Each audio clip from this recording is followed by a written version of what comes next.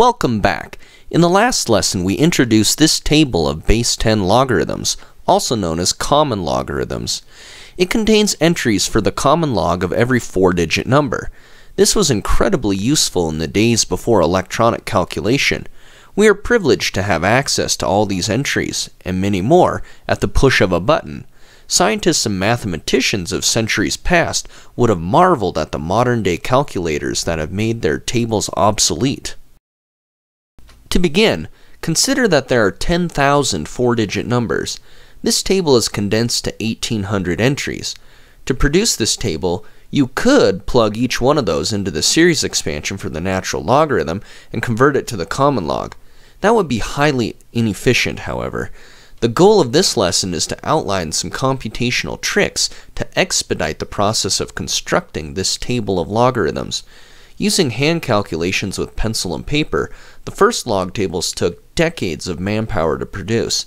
Consider how useful these were if someone was willing to invest that much time into making them. We will begin with the one-digit numbers 2 through 9, as seen boxed here. We start with 2, 3, 5, and 7 because they are prime numbers. Plug these into the series expansion for the natural logarithm, then convert them to base 10 using the expression at the bottom of the screen. This was covered more extensively in another lesson. Here is the series expansion in case you forgot. This was derived from the geometric series. The numbers 4, 6, 8, and 9 are all composite. They can be made by various multiples of 2 and 3. We already found log 2 and log 3, so it's a simple matter of employing the laws of logarithms. Here's a reminder of the laws of logarithms. So in summary, to obtain the one-digit numbers, we have to use the series expansion four times. The other four times, we use laws of logarithms. Why is this important? Because comparatively, it is computationally expensive to use a series expansion. In other words, it would take a lot longer to carry out a series expansion by hand calculation. We want to minimize the number of these we have to do. Laws of logarithms build off what we already know and can be performed much more quickly than series. We want more of these. Now we can tackle the two-digit numbers. This is the first column of the table, as boxed in blue. Same idea with prime and composite numbers. This shows a breakdown of every number up to 100. For the purpose of calculating base 10 logarithms, we can eliminate every multiple of 10. That knocks us from 99 down to 89 numbers. As seen in colored boxes, there are 25 prime numbers below 100. It is unavoidable that we'll have to plug these into the series expansion. The remainder can be computed using laws of logarithms, which should go much more quickly. At a glance, these are the numbers on the table for which we must use the series expansion. In summary, for the two-digit numbers, we must use 25 series expansions and 64 laws of logarithms. Proportionally, this is much more favorable than the 50% of single-digit numbers.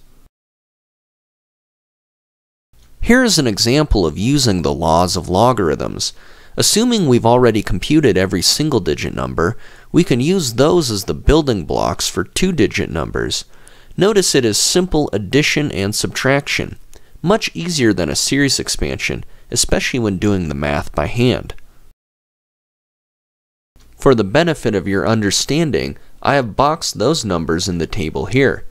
Every other number in the first column can be found in a similar fashion. Try a few for yourself to get some practice. Now it's time to tackle the three-digit numbers.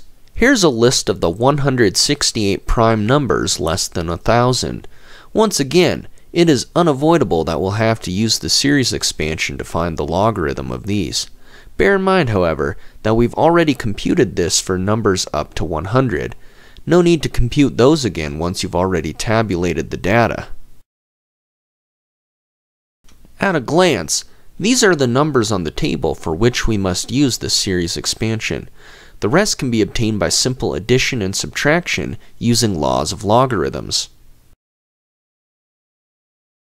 In summary, only about 19% of the logarithms of three-digit numbers must be obtained using the series expansion. The remaining 81% can be computed much more simply. Here's an example. You could break 252 into its one-digit prime factors. That will give you the number underlined in green. However, it would be much quicker to use the logarithms of the two-digit numbers already tabulated. Once you have done the work, there is no need to keep doing it the long way. Build off the results you've already obtained. It will make the process much faster.